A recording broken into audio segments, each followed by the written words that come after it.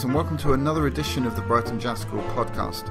This is episode 8, and I'm sort of doing a bit of a celebration um, podcast today because um, uh, the, the day that I'm recording this is March the 8th, and it also happens to be James Williams' birthday today. So, um, James Williams, if you don't know who he is, he's a, a jazz pianist.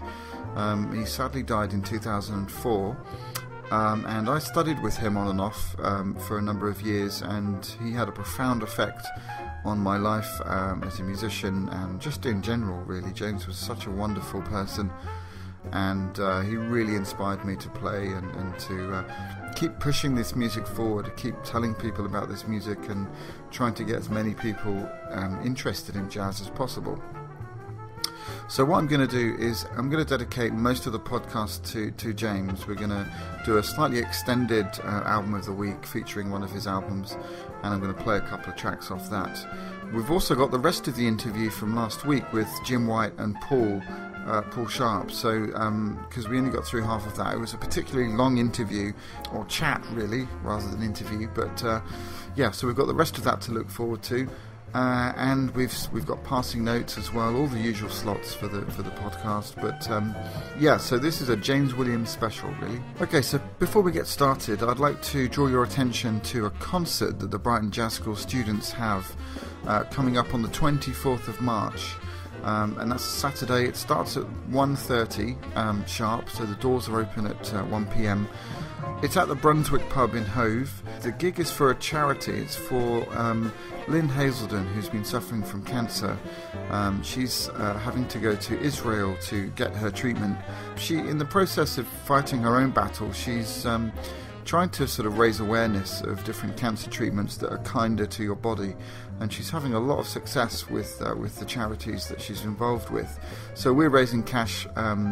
For, for Lynn and also for, um, for for the charities that she works with, Kinder Choices and some others. So if you're around on the uh, 24th, please pop in.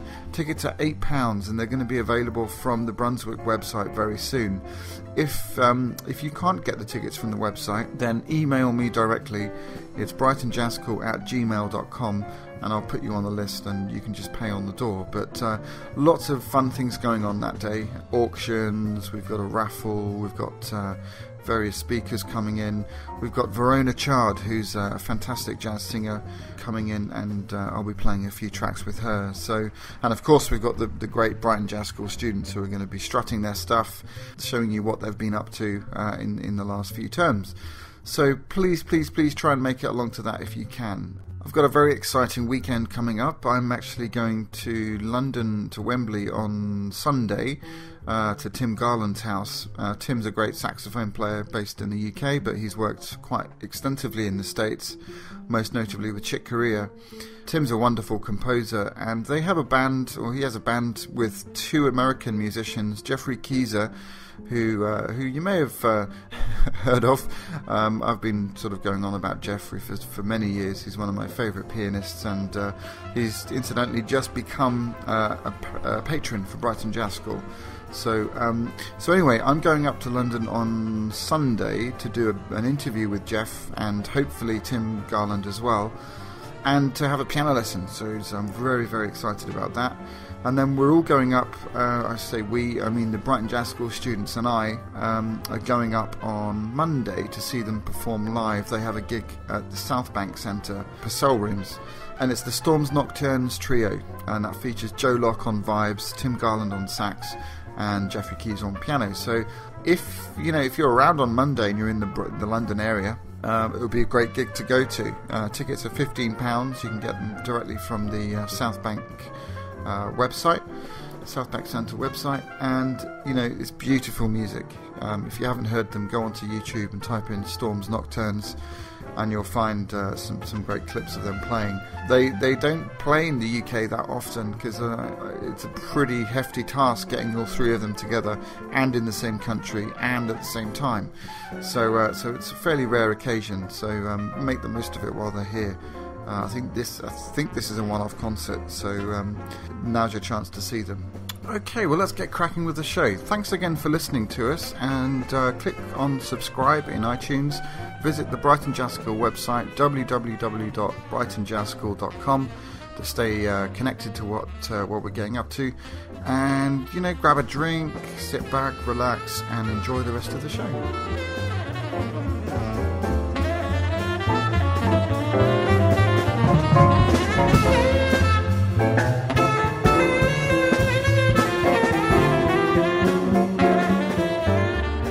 Welcome to Album of the Week, and as I said, this week we're doing an extended version celebrating the life and music of James Williams, um, as it's his birthday today, the 8th of March.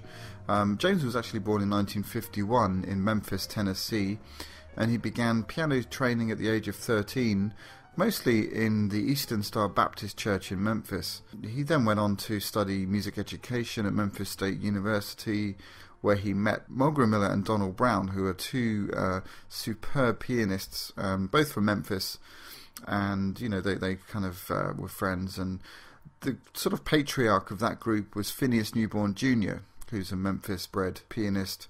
And uh, there's there's an album of the week, I think, back in episode four. So check that out. We did a review of um, A World of Piano by him. So James was a wonderful person. Um, in fact, I can say that I've never met anyone quite like him. He would always put other people before himself. He would always put jazz before himself, you know, without a doubt. Uh, he really, really dedicated his life to this music and playing the piano and just being a spokesperson for the music, you know, carrying on the rich heritage of the music, paying tribute to Phineas Newborn, of course, and other great musicians from Memphis. George Coleman, Harold Mabern is another pianist, Frank Strozier. So after graduating, James moved to Boston um, and he accepted a teaching position at Berklee College of Music uh, at the age of 22. He joined Alan Dawson's group about the same time, and as people came through Boston, artists such as Art Farmer, Milt Jackson, Sonny Stitt, Pat Martino, and of course Art Blakey. James sat in with Art Blakey during that time while he was in Boston, and he ended up uh, being in the band pretty soon after. Now, James was with uh, Art Blakey for about four years, and they recorded 10 albums um, with various lineups. Uh, most notable was the Wynton Marsalis, Bobby Watson, Billy Pierce, and Charles Fambrough uh, period. After he left the Messengers in 1981, he returned to Boston, joining um, Alan Dawson again, and there he got to play with some other great players such as Thad Jones, Joe Henderson, Clark Terry, uh, Chet Baker, and Benny Carter. Now, by this time, James was obviously making a name, a name for himself, so he, he decided to make the move to New York, and uh, um, you know everybody's very glad that he did because he got to play with such great artists as Dizzy Gillespie, Ray Brown, uh, Art Farmer again, Kenny Burrell, Elvin Jones, Freddie Hubbard, Tony Williams. The list goes on, you know, every living legend of jazz, really. Now, throughout being a sideman to all of those great players, he was also, you know, he also had his own projects going, various albums in the 80s, and then he created um, the Intensive Care Unit. Now, this was a great band. This um, featured two vocalists and a saxophone plus rhythm section. Um, various people played on it, but this music was really going back to his gospel roots, really, um, making the music very accessible. Uh, they would have very, very clever arrangements, you know, with the horns and the voices, and just very catchy tunes. Obviously, the playing was brilliant, but uh, he really reached a larger audience with this um, music, and he uh, that was the whole point behind this project. Great album to check out from that band was the uh, Truth Justice and the Blues. That's a really fantastic album. Another great album to check out is the one he recorded for Sunnyside Records in 1984 called Alter Ego. Now, that tune really has now become a sort of standard in jazz, really. It's a great tune, it's sort of minor, uh, got these lovely 11th chords going down. It's just beautiful song. He also, at that same time, dedicated two albums to uh, Phineas Newborn, comprising of a band of five piano players. Now, this, this project was called the Contemporary Piano Ensemble, and it featured Harold Mabern, originally from Memphis, Donald Brown, originally from Memphis, Mulgrew Miller, originally from Memphis, and a very, very young Jeffrey Keezer, uh, who's actually from Wisconsin, but quite often got uh, thrown in and uh, an honorary Memphian, I guess. He was often associated with those guys um, to the point where people thought he was from Memphis as well. They released two albums, and uh, the one I really love is called The Key Players. Uh, which was recorded at I think Merkin Concert Hall in New York, and that features uh, those uh, those five piano players. Um, and they pay tribute to Phineas Newborn on that one. Now, James was a prolific composer. I talked to him at length many times on composing jazz and and uh, you know arranging. Course, he was the musical director in Art Blakey's band, so he he arranged many of the uh, songs that that band performed. Um, but pieces like Arioso, which he he uh, composed for his nieces, Black Scholars, Alter Ego, so many, you know, and lots of other people love playing his compositions. Several of his compositions appear on albums by Art Farmer, Kenny Barron, Victor Lewis, Gary Burton, and Roy Hargrove. So, you know, if those guys play it, they must be good. James is also very active in jazz education, teaching at various institutions around the world. Towards the end of his life, he was the director of jazz studies at William Paterson University, um, succeeding uh, Rufus Reid and Thad Jones. You know, from what I've heard, the students absolutely adored James. Um, James put me in contact with a student uh, who was studying there at the time, Steve Myerson, who's a great, great pianist.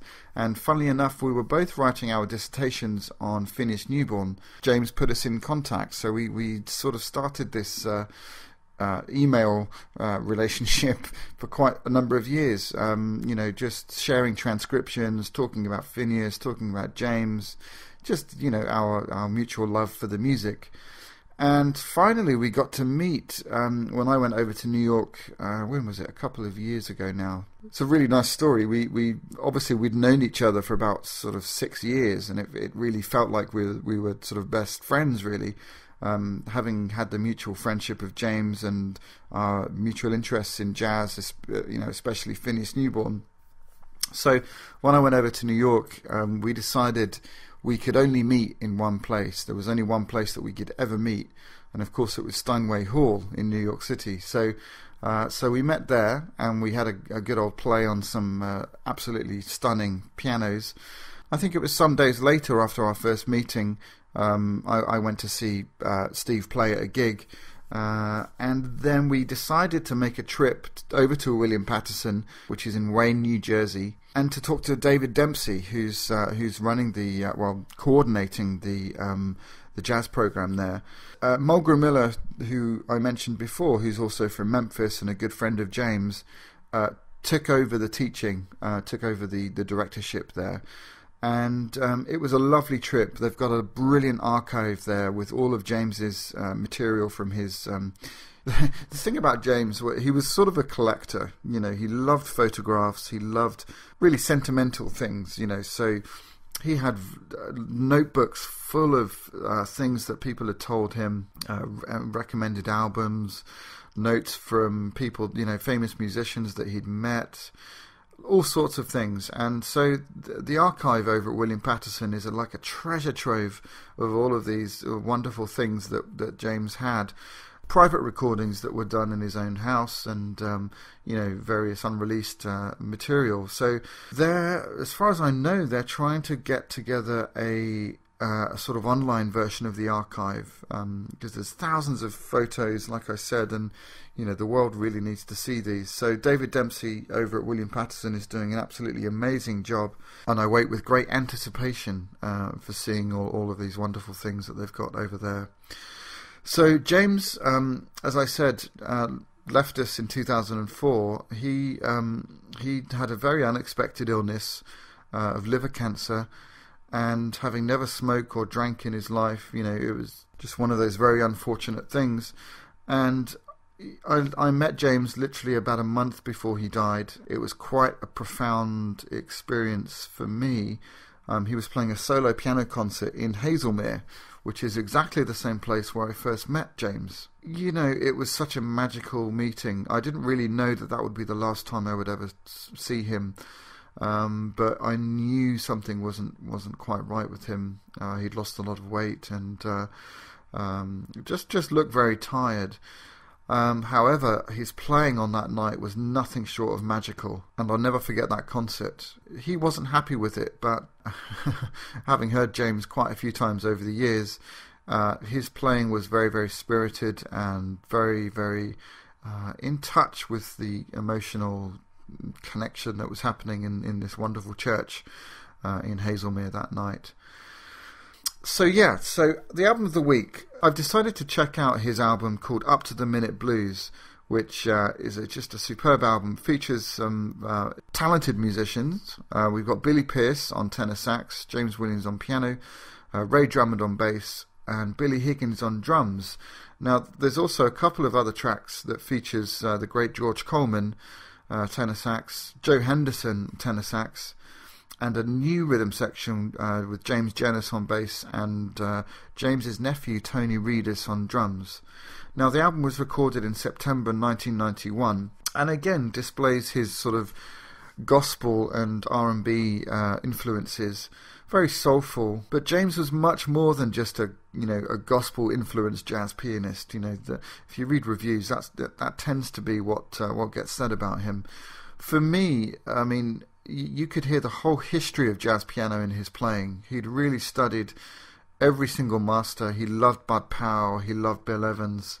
He loved Oscar. He loved, you know, obviously Phineas Newborn, but he also loved, you know, people like Donny Hathaway and uh, some of the great R&B people, Otis Redding, Ray Charles, and so all that came through in his playing. He was very, very accessible as a player. Um, but he could really turn up the heat. You know, when you hear him play with Freddie Hubbard, you know, in that in that all star band, wow! I mean, he can burn. He can really play like the best of them. You know, he cites a lot of different piano players as influences: Hank Jones, the great Ahmad Jamal, Donald Brown, Mulgrew Miller. As I said, you know, the whole history of jazz piano is at his fingertips. They kick off the album with a tune by James Williams called Common Knowledge, uh, which is a blues. Great, great soloing from everyone on that. Then they do a fantastic Joe Henderson tune called Afrocentric, which is very, very catchy, and again, some really great solos.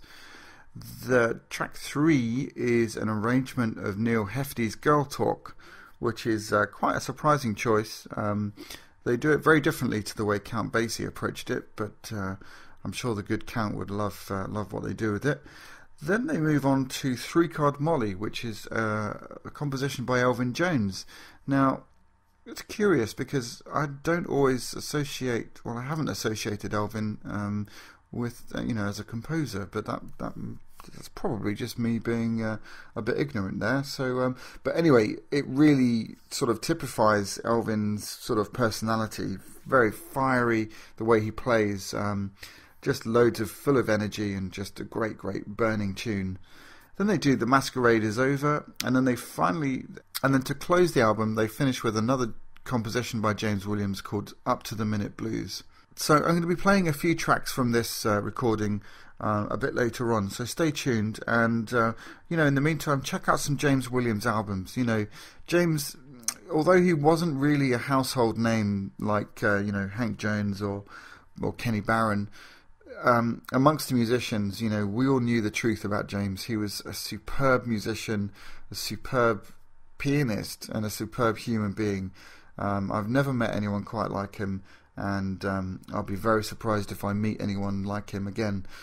And it's safe to say that I owe uh, my playing career, um, my entire career, really, to James. He he sort of pushed me and kept me going when when uh, when I thought, you know this this was uh, too getting too difficult, and he would always be at the other end of the phone, encouraging me and uh, telling me to you know make sure that I practice and you know sometimes giving me a good kick up the arse, which is what I needed.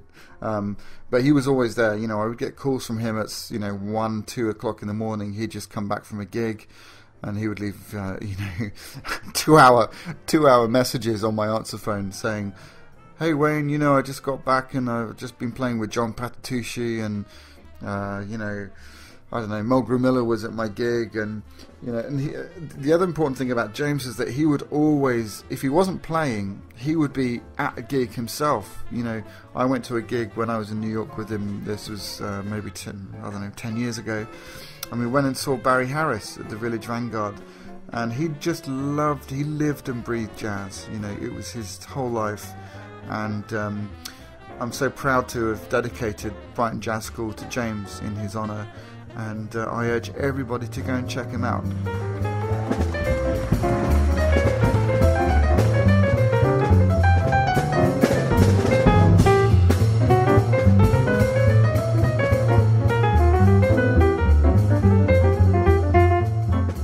Two words for you, both of you. Art Blakey. Oh, Oh. yes.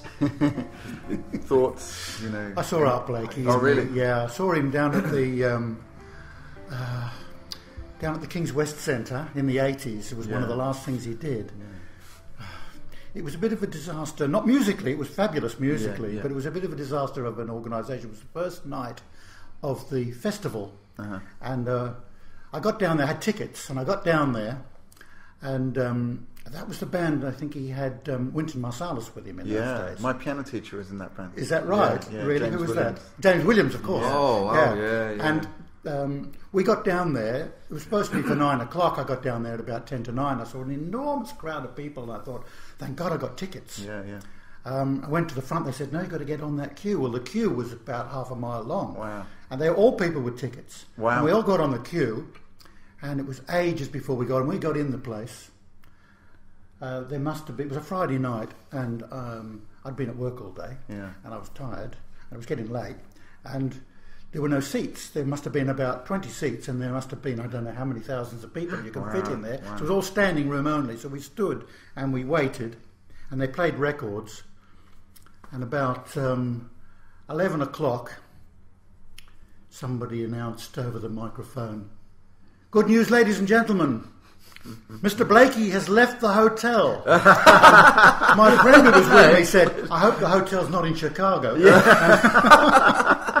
and Oh, uh, finally they turned up. It must have been nearly midnight. Really? They turned up, yeah. No, they're And- not backward. You know, Yeah. they, they, they don't want to hurry, are they? no, they were in no hurry whatsoever. Yeah, yeah. Um, I suppose, but there's this attitude. Jazz is for the late at night. I've never understood that. for me, jazz is for 24 hours a day. Yeah, If I don't sleep well and I wake up at four o'clock in the morning, five o'clock in the morning, I've got a tape ready in, a, Yeah. in a, ready in a little old Roberts um, cassette player with my headphones ready just to listen to it go, yeah. in the middle of the night. And it does, Yeah. yeah, that's right. It's something to do in the middle of the night, you know. Yeah. And it sounds just as good to me at four o'clock in the morning. Absolutely. Um, or at four o'clock in the afternoon. Yeah. Or at late at night or any time. I don't. To me, it doesn't have to be a particular time of Yeah. day. But there's something about the way they program jazz, especially on BBC. Yep. They seem Yeah. to think got to be late at night. Yeah, you know. smoky, uh, dingy Smoke- atmosphere. That's right. Yeah, Yeah, I don't know yeah. what they did when smoking indoors got banned.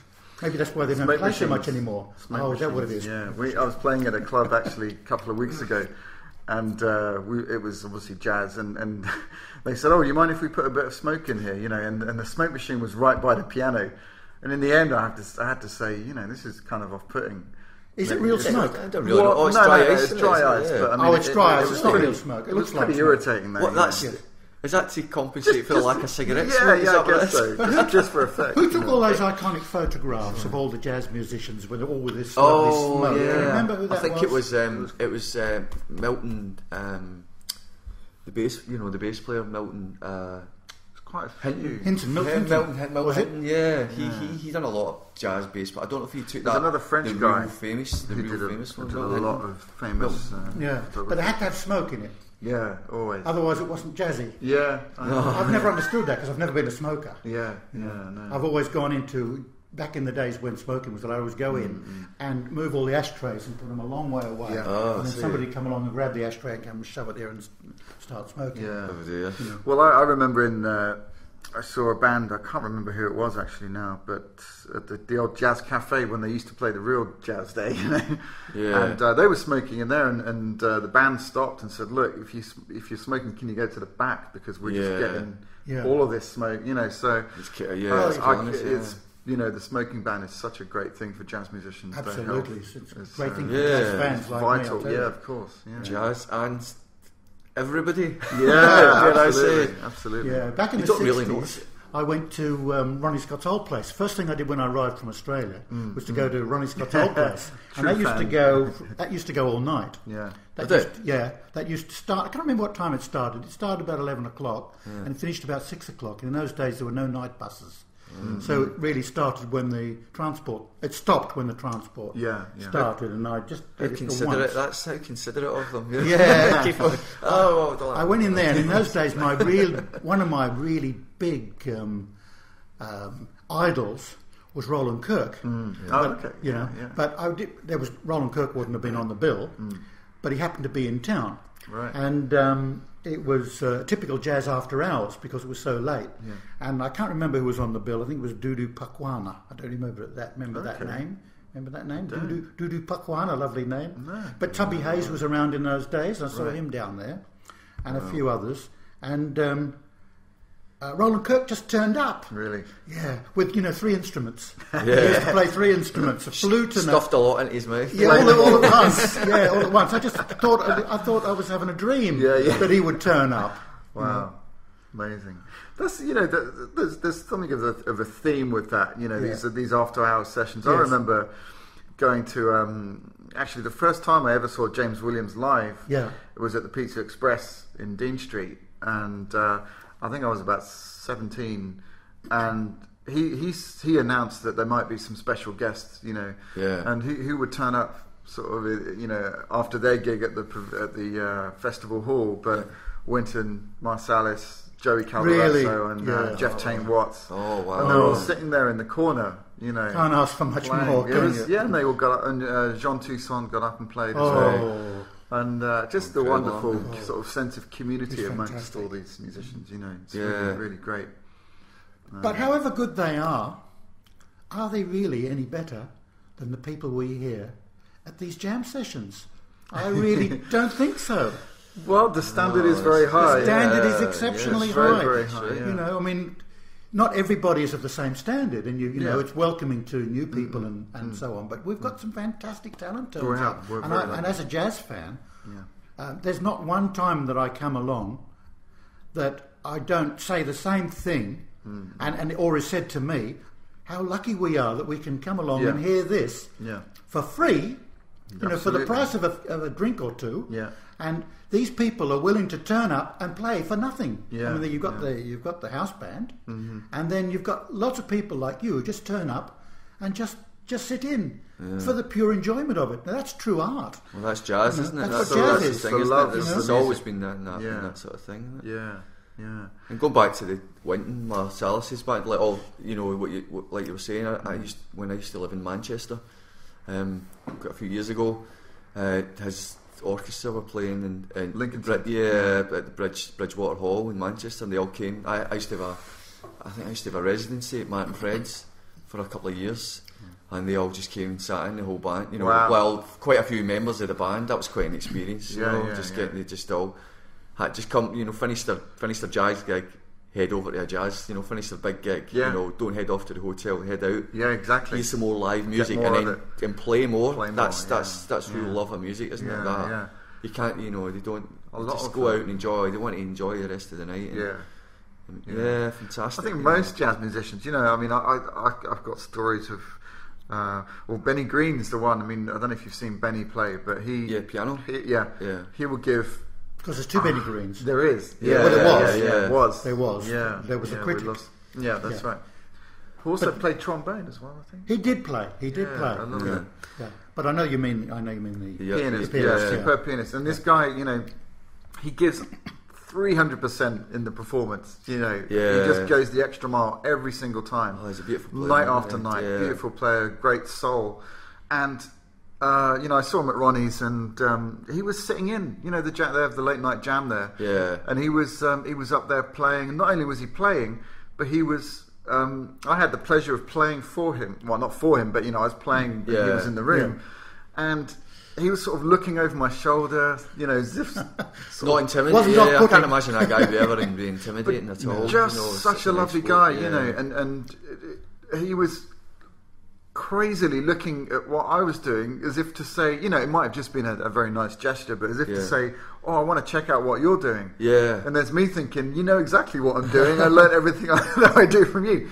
Yeah, but, the- uh, everybody the learns. attitude- everybody can still learn. Doesn't Yeah, matter how long you've exactly. been in the game, you can still learn. Totally. Yeah. But but what a lovely guy. And Yeah, George Coleman as well. You know, I was at the Oh, really? I was in New York a few years ago, and George is, you know, he's got a few years on him now. I don't know how old, probably eighty something. And you know, I sat in there, and he was What? there. He was What a he was at the smoke. Yeah. I was there until four in the morning, and he was still going. Yeah. There's me tired, waiting to go home to the, to the hotel, and he's still Yeah. he's still playing. But such beautiful people, you know, Yeah. so much energy for the music. It transcends everything, you know. But, um, well, great. Look, guys, this is this is fascinating stuff. Um, really appreciate you both being here. Yeah. Um, I want to say a special thank you to Paul, um, who I think is certainly my oldest fan. I don't mean that you're old. I mean that I am old. since I've been here.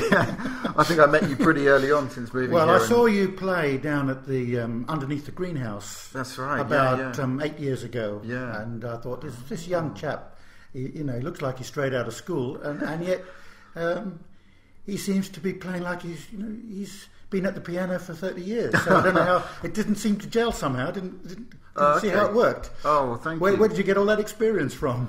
I don't know. I don't know. I guess listening a lot. Wow. Yeah. I felt much the same a- as I um, then uh, as I do now when I see Dave Drake. Yeah, Who, you yeah. know, as a teenager, and I think, Yeah. where do you go from there if you can play like that at that age? Yeah, I know. Scary. Maybe America. you look, maybe you just yeah, look right. young. Yeah. To, to New York. yeah. No, I mean, yeah, he's he's a great talent and certainly one to watch. Um, but yeah, I just wanted to say a, a, a big thank you to you for, Well, for following much, us and coming to the gigs, and it really does. You- Um, you needn't thank me. I should be thanking you because Well- you've given me a huge amount of pleasure. Well, it really, you know, it works both ways because it's it's nice to see familiar faces at gigs, and and you know, it makes it all worthwhile. Uh, it really does. So, yeah, so a big thank you to you. And Jim, what can I say? You know, it's such a pleasure playing with you on the bandstand, and you, Oh. you're a consummate musician. And uh, the thing I love about your playing is, you know, that you listen, you know, and you respond, and it's it's a two way thing, and it's so much fun playing with you. So I hope hope we can play together some more. Oh, absolute pleasure. Wayne. Likewise, likewise. Um, Cool. Absolutely. Well, thanks, guys. Thanks for joining Well, me, and you, uh, you know, I hope you enjoy the interview and, and uh, keep listening to the podcast and check these. Will do. You know, come down and hear Jim play uh, at the Brunswick, and where, where can we find out where you're playing and gigs and stuff? Uh, my website usually yeah, Okay, it's which probably is? it's uh, jimwhite.com. JimWhite.com with a- with a Y, with White a with a Y. Y, yeah, With a that's Y, it, yeah. yeah. Okay. Jimwhite.com. I, I put um, I usually put my uh, up and coming things on there. So Great. It's usually that. Okay. Yeah. Anything in the pipeline locally? Uh, well, uh, locally, yeah, I'm playing with that. Funny you should mention Dave Drake. I've got a Yes. gig with Dave Drake next week in Brighton. You know, like young. uh, oh, where's that? That's at the Foundry, which is a- quite a small. Oh, yeah. But really, What, in the lanes? It's in the lanes, yeah. It's in the Brighton lanes. Okay. Um, so on Foundry Street Park, Yeah. funnily enough, Okay. And uh, it's a, it's a, it's quite Do you know the date and time? off- it's, off it's the seventh of March. Very good. Probably starting about eight p.m. or something Okay. like that. So There that'll you be go. nice. Quite a Brilliant. yeah. Come come check. it Yeah, out. there you go, folks. That's the place to go. So, 8th of March, the Foundry. Did you say seventh? 7th? Seventh, yeah. sorry, seventh sorry, sorry, Mar- sorry, yeah, sorry. Seventh. Wednesday. Wednesday the seventh. Wednesday. Wednesday the seventh. Um, but yeah, check out check out uh, JimWhite.com and uh, you, you'll get uh, you know you see Jim play. And uh, yeah, Paul's always down at the Brunswick, so come and say hi to Paul as well. He's such an interesting guy. Um, history teacher, I believe. Uh, retired history Retired teacher. history I teacher. taught history for just over 30 years and I, Yeah. I got used to it after a while. Yeah, I I'm just about getting used to it when I retired. History of jazz. That would have been a, that That would be a good one. That would be a good one. Yeah. But actually, everything's got a history. Yeah. Yeah, yeah. Well, uh, you know, I wish I, I, I just from talking to you over the years, I wish I had a teacher who's sort of passionate and knowledgeable. Um, Well, I think you did have a teacher of music who was passionate and well, knowledgeable. I, actually, I certainly did. Yeah, yeah. Uh, James Williams, but what a guy. But um, Absolutely. yeah, fantastic player. There's certainly album album of the week and uh, some uh, maybe a whole show dedicated to James at some point because obviously the whole jazz um, uh, school is is basically uh, comes from the inspiration of James and what, what I'd learnt from him. So I'm sort of passing on, hopefully, uh, keeping his uh, spirit legend. Le- legend alive. Yeah, through through through the students. And, well, a good teacher brings out what's already in there, and I think that that's what he's, he's done in your case. Oh, well, thank you, thank you, thank you. Thanks, guys. Uh, it's been a great interview. Thank you for joining us, and uh, I'll see you very soon. Great. Cheers, Cheers.